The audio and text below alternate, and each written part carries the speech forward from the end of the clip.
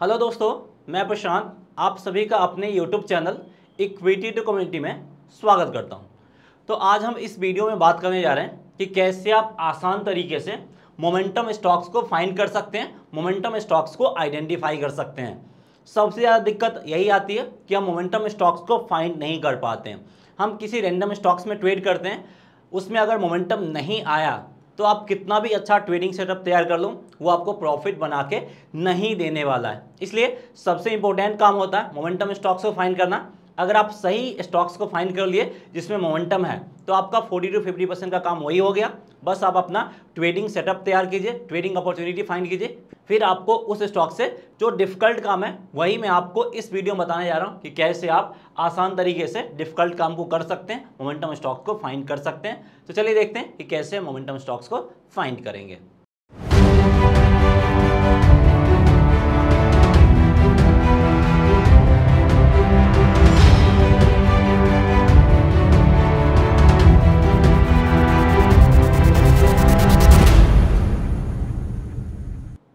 यहाँ पे आप दो आसान तरीके से मोमेंटम स्टॉक्स को आइडेंटिफाई कर सकते हैं। कैसे? चलिए देखते हैं। तो सबसे पहले यहाँ पे आपको क्या फाइंड करना? सबसे पहले आपको फाइंड करना इंक्रीजिंग प्राइस यानी आपका प्राइस इंक्रीज होना चाहिए। उसके साथ साथ आपका वॉल्यूम भी इंक्रीज होना चाहिए। अगर प्राइस के साथ साथ आपका वॉल्यूम भी इंक्रीज हो रहा है तो काफ़ी हद तक ये आपको मोमेंटम स्टॉक्स है। इस स्टॉक्स में हमें मोमेंटम देखने को मिलेगा। फिर आप उसी मोमेंटम पे राइड करते हुए अपने ट्रेड को प्रॉफिटेबल बना सकते हैं। दूसरा क्या हमें फाइंड करना? दूसरा हमें हेल्प लेना पड़ेगा मूविंग एवरेज का, जहाँ पे हम एक्सपोनेंशियल मूविंग एवरेज यूज़ करेंगे 20 डेज़ का। तो प्राइस आपका either 20 day moving average 20 day exponential moving average को सपोर्ट लेना चाहिए या फिर इसको रेजिस्टेंस लेना चाहिए। तो इन्हीं दो क्राइटेरिया को, इन्हीं दो पॉइंट को फॉलो करते हुए हम आसान तरीके से मोमेंटम स्टॉक्स को फाइंड कर लेंगे। कैसे फाइंड कर लेंगे? चलिए चार्ट पे चल के इसको समझने की कोशिश करते हैं। तो यहाँ पे हम चार्ट पे आ गए और ये चार्ट देख सकते हैं किसका है? अदानी पोर्ट्स का चार्ट है डेली चार्ट है। डेली चार्ट यहाँ पे हम इस्तेमाल कर रहे हैं। तो यानी आप इसका इस्तेमाल इंट्राडे ट्रेडिंग में नहीं कर सकते हैं। हमें मोमेंटम स्टॉक्स फाइंड करना है। तो हम इसका इस्तेमाल पोजिशनल ट्रेडिंग या फिर स्विंग ट्रेडिंग में कर सकते हैं, जहाँ पे हमें इसके मोमेंटम से थोड़ा बहुत प्रॉफिट मिलता हुआ दिखेगा, या फिर आप इसका इस्तेमाल ऑप्शंस ट्रेडिंग में भी कर सकते हैं। अगर आप ऑप्शंस ट्रेडिंग वन वीक के लिए करते हैं या फिर वन मंथ के लिए करते हैं, या फिर फ्यूचर्स ट्रेडिंग अगर आप कर रहे हैं तो उसमें भी इसका इस्तेमाल आप कर सकते हैं। तो चलिए देखते हैं कि हम मोमेंटम स्टॉक्स को कैसे फाइंड करेंगे। उससे पहले मैं आपको बता देना चाहूँगा कि नीचे हमने वॉल्यूम को ऐड किया और यहाँ पे हमने ऐड किया है 20 डे ईएमए यानी एक्सपोनेंशियल मूविंग एवरेज को। बस यही दो इंडिकेटर का हम इस्तेमाल करने जा रहे हैं, जिसके बारे में आपको ऑलरेडी आइडिया होगा ही। बस इसको हमें सिंपली फॉलो करना। अब हमें इसका इस्तेमाल कैसे करना? सबसे पहले आपको देखना है 20 डे ईएमए को हमें क्या मानना है? प्राइस इसको आइदर सपोर्ट के रूप में ट्वीट करें या फिर रिस्टेंस के रूप में ट्वीट करें। और प्राइस आपका ऊपर जाना चाहिए या फिर नीचे आना चाहिए। और वहाँ पे वॉल्यूम की तरफ़ से सपोर्ट मिलना चाहिए। अगर प्राइस ऊपर जा रहा है तो पॉजिटिव वॉल्यूम हमें इंक्रीज दिखना चाहिए और नीचे आ रहा तो नेगेटिव वॉल्यूम हमें इंक्रीज दिखना चाहिए। तब हम इस स्टॉक्स को मोमेंटम स्टॉक्स मानेंगे और उसमें हम ट्रेड कर सकते हैं। तो अब यहाँ पे देखिए, सबसे पहले हम यहीं से शुरुआत करते हैं।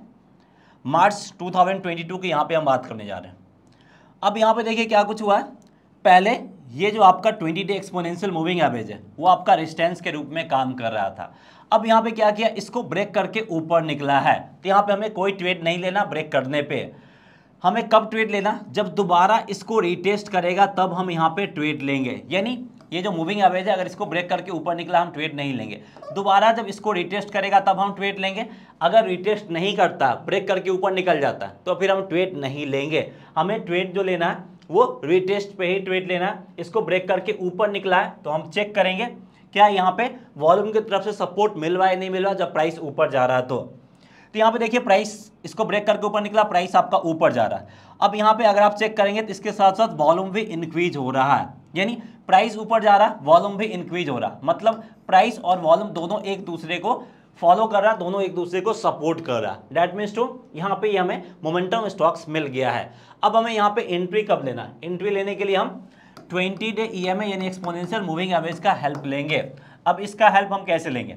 अब हम वेट करेंगे कब इसको रिटेस्ट करता है। देखिए, इसको ब्रेक करके ऊपर निकला है और यहाँ पे इसको रिटेस्ट करा यानी ये कैंडल रिटेस्ट किया, जो कैंडल रिटेस्ट किया, उसके हाई को मार्क कर लेंगे। अब जैसे प्राइस उसको हाई को ब्रेक करके ऊपर निकलेगा, ये हमारा क्या बन जाएगा? ये हमारा एंट्री पॉइंट बन जाएगा और यहाँ पे हम एंट्री बाई साइड की तरफ़ लेंगे। और यहाँ पे देख सकते हैं, ये पॉइंट जो है, ये मेरा एसएल के रूप में काम करेगा।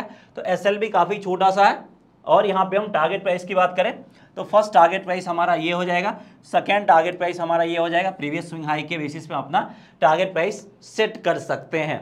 उसके बाद देखिए प्राइस आपका ऑल द वे यहाँ पे हमने जो एंट्री लिया है, हम एग्जैक्ट लेवल भी फाइंड कर लेते हैं। हम किस लेवल पे एंट्री लिए? लगभग हम 740 के करीब यहाँ पे हमने एंट्री लिया है। 740 करीब एंट्री लिया और हमारा जो एसएल बन रहा है। एसएल की अगर हम बात कर लें तो 725 आप ले सकते हैं। जो एसएल हमारा बन रहा वो 725 के करीब बन रहा है। यानी जस्ट हमारा कितना बन रहा? है 15 पॉइंट का एसएल बन रहा है। और अगर हम टारगेट प्राइस की बात करें तो यहाँ पे अगर हम टारगेट प्राइस देखें तो लगभग आपका 840 करीब हमारा टारगेट प्राइस बन रहा है। तो लगभग 100 पॉइंट के करीब हमारा टारगेट प्राइस बन रहा है और एसएल जस्ट 15 पॉइंट का है।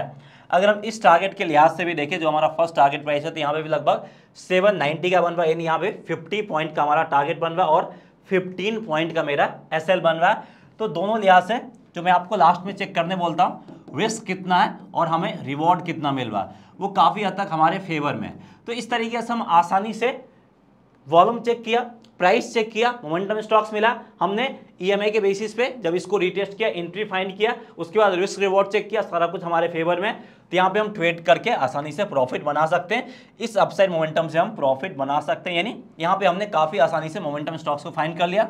आप यहाँ पे चाहो तो स्विंग ट्रेडिंग कर लो एफ़ में ट्रेडिंग कर लो, या फिर आप पोजिशनल ट्रेड भी ले सकते जो भी ट्रेड आपको लेना है, वो ले सकते हैं। यहाँ पे आपको सिर्फ़ और सिर्फ़ डेली चार्ट का इस्तेमाल करना है। आप अगर थोड़ा बहुत नीचे जाना चाहते हैं तो मिनिमम आप आवरली चार्ट में जा सकते हो वन आवर से चार्ट से नीचे नहीं जाना है।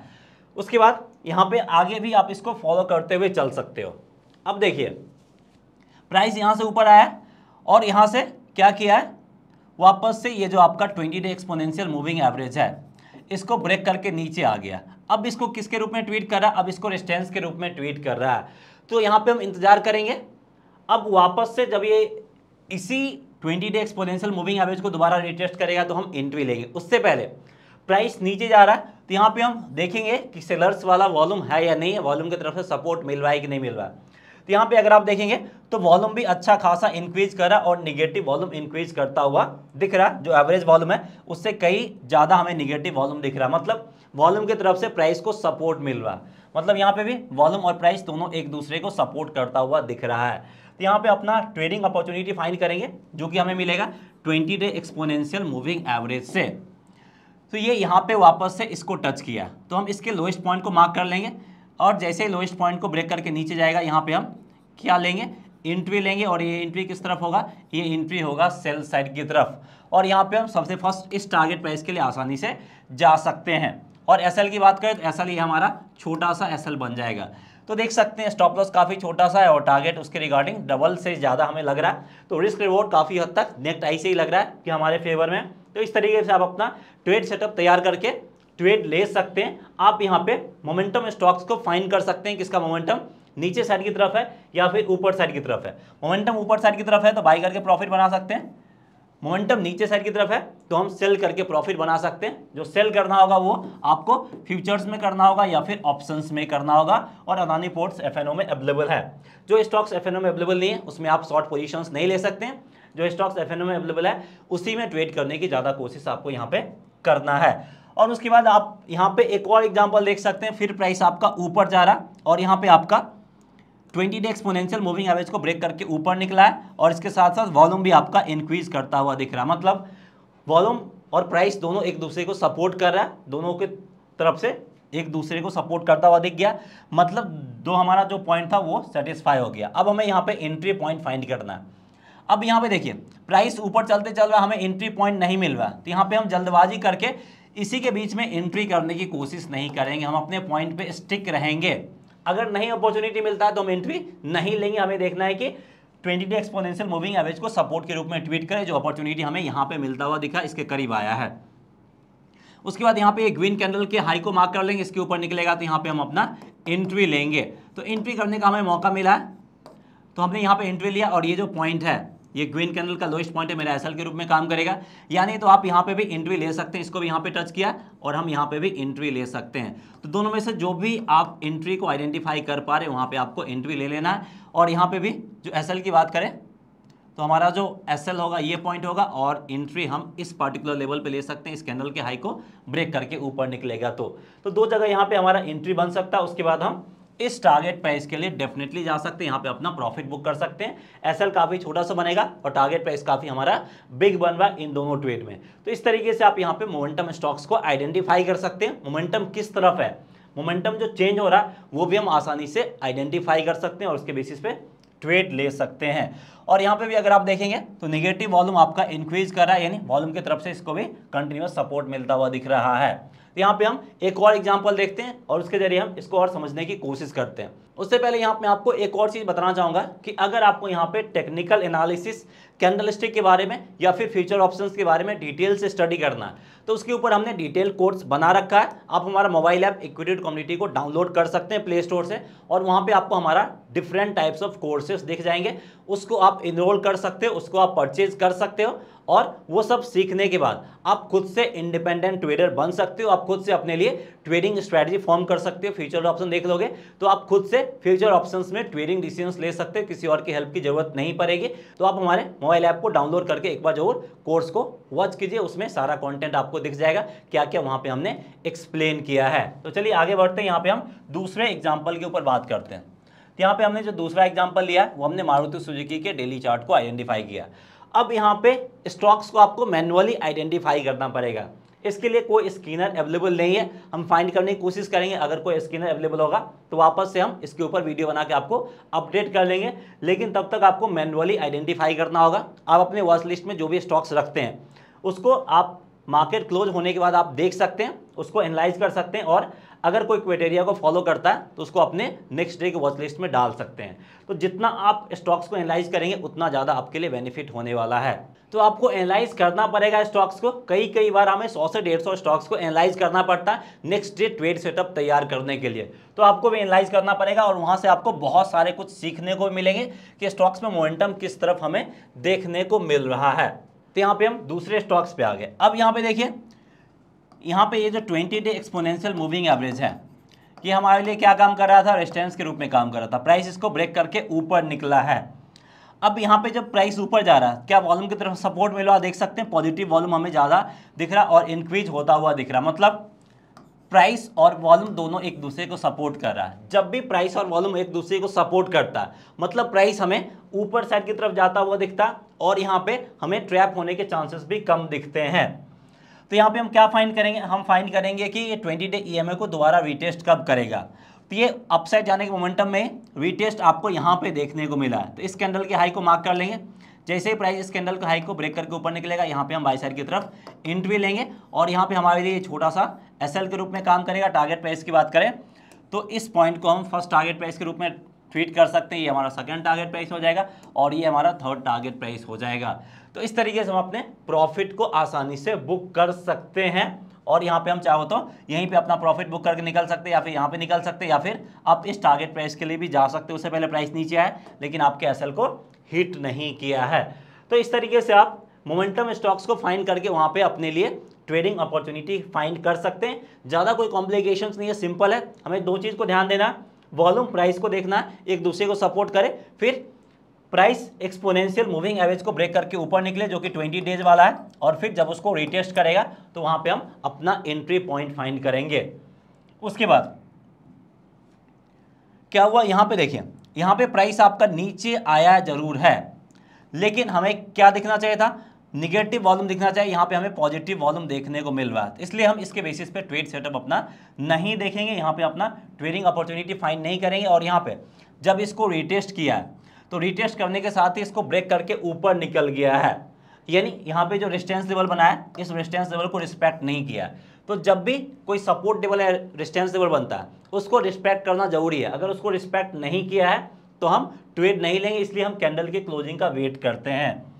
अब उसके बाद देखिए, वापस यहाँ पे प्राइस नीचे साइड की तरफ़ गिरा है और इसको ब्रेक करके नीचे आ गया अब यहाँ पे हमें देखना है कि निगेटिव वॉल्यूम है कि नहीं। यहाँ पे देख सकते हैं कंटिन्यूसली निगेटिव वॉल्यूम है, यानी वॉल्यूम और प्राइस एक दूसरे को सपोर्ट कर रहा है। तो ठीक है, ये मोमेंटम स्टॉक्स है, जहाँ पे हमने डाउन साइड की तरफ़ मोमेंटम को आइडेंटिफाई किया और ये स्टॉक्स आपका एफएनओ में अवेलेबल है। तो यहाँ पे आप एफएनओ में सेल साइड की तरफ़ पोजिशन ले सकते हैं। अब यहाँ पे हमें देखना है कि वापस से ये 20 डे एक्सपोनेंशियल मूविंग एवरेज को टच करे, लेकिन एज ए रेजिस्टेंस के रूप में इसको रिस्पेक्ट करे, इसको ब्रेक करके ऊपर नहीं निकलना है।